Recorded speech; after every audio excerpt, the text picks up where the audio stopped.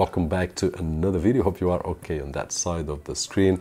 And if you are using your computer one or two hours a day just for work, like this mini computer that I've got right over here from Beelink, the Series 5 with the AMD 5800U, which is a really nice computer, then probably we should think on how we can use it more intensively and especially being able to have a multimedia server that will be able to stream content to all our devices, mobile phones, Android TV boxes, and whatnot. So if this is your case, let's follow along a video tutorial, which is really, really simple. And by the end of this video, you will be able to use your computer not only for work, but also to entertain your family, yourself, and your friends, because this will also work outside your home network. Now I'll be using the Beelink Series 5 AMD 5800U which is a really nice powerful mini computer. It comes with 16 gigabytes of RAM DDR4 but if we feel the need later on we can upgrade to 32 which I did with Sabrent memories. We have two slots available. We can also upgrade the main SSD which is a NVMe SSD. I did upgrade with one with 2 terabytes from Sabrent as well and it also has some something that it's really important in my opinion, which is the extra storage. Here I can place in a 2.5 inch hard drive or SSD, which I did with a S3 Plus SSD, but we can also connect a hard drive, a regular hard drive with 2.5 inches, which is a bit cheaper. And I could use my Toshiba for example, but I did choose on this particular project to use the S3 Plus. So this is all we need. The only advice that I do give if you already have your computer is pay attention attention to the power consumption. In this particular case, the Beelink consumes only 5 to 8 watts, and if we push it really hard, playing games and so on and so forth, it will go about 20 watts or so. So just check out how much your computer consumes, because if it consumes a lot of power, then probably it will be more expensive at the end of the month than contracting Spotify, Netflix, Amazon Prime, and so on and so forth. Now, that being said, let's follow along. The first thing that we need, we already have a mini computer with Windows 10 or 11. In this particular case, we have Windows 11 Pro. Now, let's go to Google and search for Plex TV. And once we find the website, just select Plex Server to download and install on our machine as we would install any other software. So, so far, really, really easy. Once the installation finishes, it will open automatically our browser and either we have an account or we will need to create one. If we have an account probably you are not watching this video but if you don't then you just need to create in this step you will need to do it alone and once you create your username and password you may do the login and follow along. Now this will be the page that we will manage our server and don't be afraid to close that page because when you need in the future to manage your server once again you just need to go to the taskbar and on the right bottom corner you will find the Plex server just double click and it will open the page once again so that we can manage it.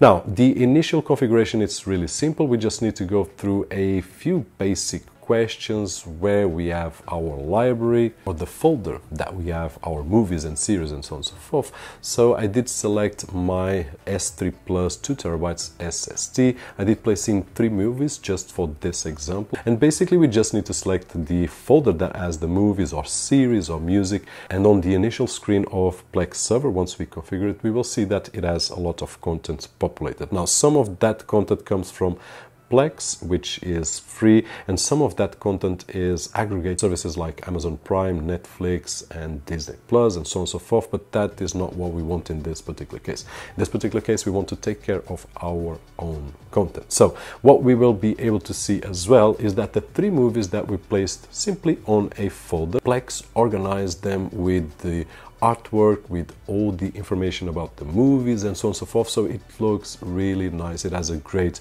appearance. And right now we have our server with already three movies working to any device that we want.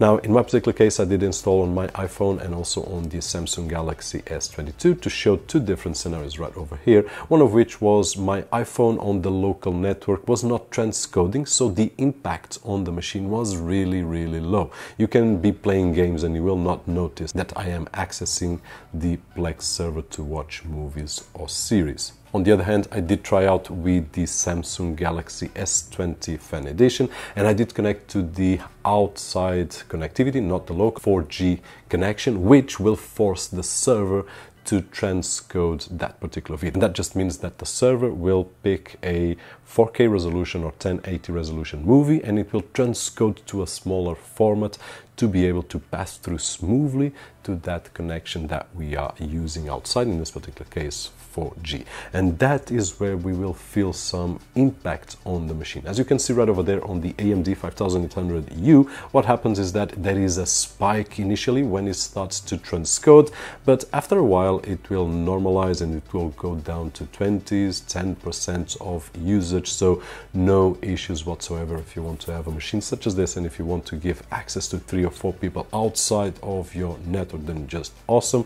Inside our network, we are almost unlimited. Not unlimited because the gigabit Ethernet connection might be a problem if we have 100 devices at the same time. And if those files are huge, then CPU, RAM, and storage great, but the Ethernet connection might not be enough to stream 400 devices. But I would say that 5, 7, 10 devices at the same time, no issues whatsoever, depending on the bandwidth that the movie has. Now, this is ready to be used as a server, and if it's your computer that it's on your office, then leave it as it is, just use it to work when you need, and the rest of the time it will be your server. Nonetheless, if this computer is similar to this one, or exactly this one right over here, which looks really nice, and you want to put it on your living room or on your bedroom, then besides being a server, let's use it as a player as well. And for that, we just need to go to Plex once again, but instead of downloading this server version, let's download the player version. Just install it, and once we install it, log in, and we will have access to the movies that we have on our library. By the way, for those that are installing Plex for the first time, once we have our movies, we don't need to go to the management to add more movies. We just need to bring movies to that particular folder and Plex will regroup them, will grab all the information from the web and will place them on a really nice way that we can see on any device that we have. Now, if we are using this computer as a player as well, I would suggest one one of these remotes that we have reviewed about one or two years ago. It's in my opinion the best remote for Windows computers that we use for multimedia. I will try to leave a link right over here on the YouTube card so that you can check it out and this will give us a better experience on the computer instead of using a keyboard and a mouse and so on and so forth. And that is it. Hopefully this video, which was a small video tutorial or guide was helpful in some way and if it was, don't forget that usual thumbs up right over there which is really appreciated on this side of the screen. My name is Roberto Jorge, and as always, I'll see you guys on the next one.